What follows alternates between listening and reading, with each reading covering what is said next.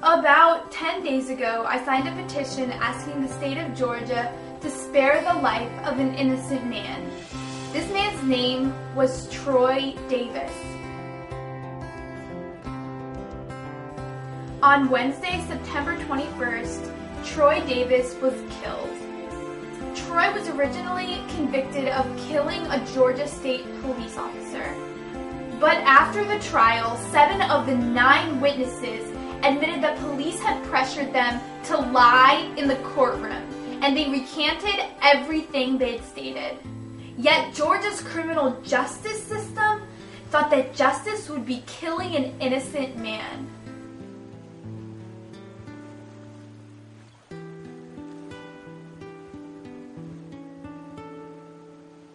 I signed this petition 10 days ago around 2 in the morning, and there had already been thousands of signatures, tens of thousands of signatures, and thousands of people writing comments begging them to not kill him.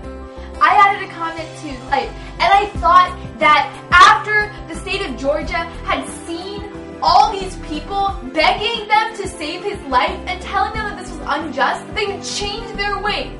But no, racism wins yet again. The 1800s and the 1900s, what went on was that people would take a black person and lynch them because they just hated them so much. And today, we do that through a means that is a lot less sneaky, and we don't kill them and put their body out for everyone to see. We kill them in a dark room, in a cell, and not many people hear about it. I was just so angry when I learned what had happened to him, but we can't just be angry about this. We have to use his story and his innocence and the life that he lived as inspiration to change this so that it doesn't happen to other people. Benjamin Franklin, one of our founding forefathers, once said, It is better 100 guilty persons should escape than one innocent man should suffer. And I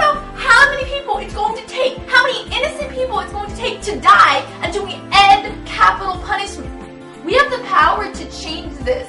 You know what? I was one of the tens of thousands of signatures who signed that, but the reason that they still killed him was because they knew enough people in Georgia didn't care who were going to elect them. And so, guys, if enough of you care, if you write your Congress, congressmen and your representatives, I'm going to link below a link where you can go and type in your zip code and find your congressmen and representatives, and you can copy and paste something in the down bar into the into the little email box and sign your name, and just send that to them. It will take you probably like less than a minute because we have an obligation to fix this problem. This is evil, and we, as creatures with morality, we have an obligation to change that.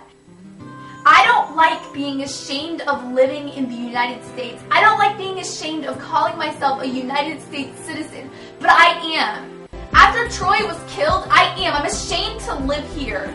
And I'm going work for the rest of my life to try to change things like this happening. And this video is just one little thing, and I hope that it inspires you guys to go out and tell all of your friends and the people you know about that Troy Davis, that he was killed for doing nothing, and you know what? One day we can change this. But you can't be apathetic anymore. You have to stand up and you have to realize that you have a voice and you have internet and you have paper. I don't know, send snail mail to do something to contact all the representatives and politicians you know to try to change this law.